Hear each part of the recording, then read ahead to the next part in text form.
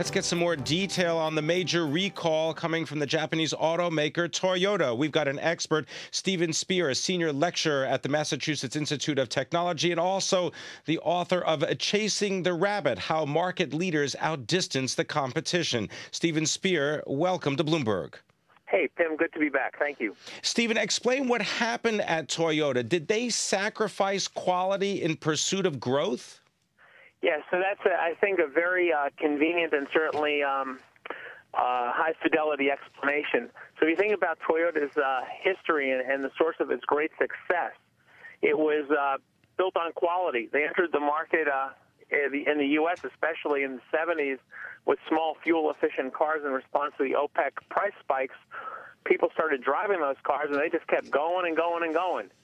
And they said, "Wow, these cars are great and reliable and durable and all of that," and that became the uh, the basis for uh, Toyota's uh, reputation. And um, that ability to generate just tremendous quality and reliability was uh, rooted uh, very deeply in a broad-based capacity inside Toyota and within uh, inside its supplier network um, to have just relentless, very high speed problem solving going on all the time everywhere. Uh, little problems, big problems, whatever it was. You get to the late 90s, and uh, one of Toyota's leaders said something about Toyota being the number one car company in the world and uh, having 15% market share within a very short period. And uh, in a company which uh, subordinated everything else towards quality and the development of the skills that uh, help them uh, achieve quality, and like the Lexus uh, tag, you know, the relentless pursuit of perfection, it creates this dilemma. Are we relentlessly pursuing perfection or are we relentlessly pursuing growth? And I think if uh, when, when we do the uh, post-mortem on this accelerator pedal problem, we'll find that uh, this problem has its roots in that period around uh, 99, 2000, 2001, when the company was growing a little faster than uh, it was developing capacity and knowledge about the products it was making. So, did it open factories faster than it should have? Was it stretching supply networks? Well, I, I think um, you know, in hindsight, you know, we can always say, yeah, probably uh, faster than they care to, and I think there's a lot of agreement, probably within Toyota on this too.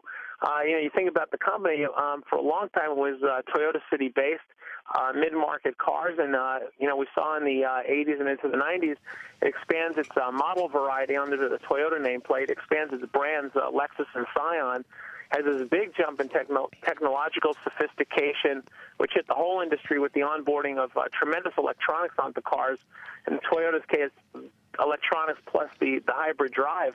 So they were going uh, gangbusters in terms of growth.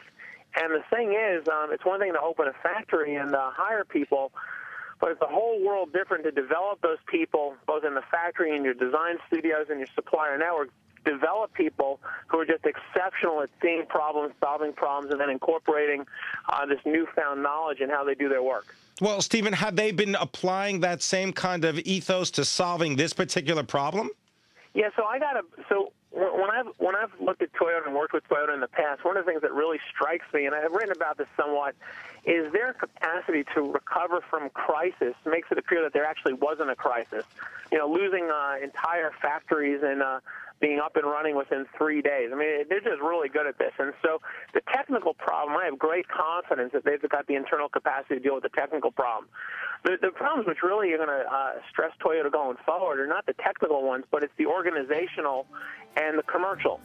All right, and it looks like they've got a long road ahead of them. I want to thank you very much, uh, Steven Spears, Senior Lecturer, Massachusetts Institute of Technology, and also the author of uh, Chasing the Rabbit, How Market Leaders Outdistance the Competition.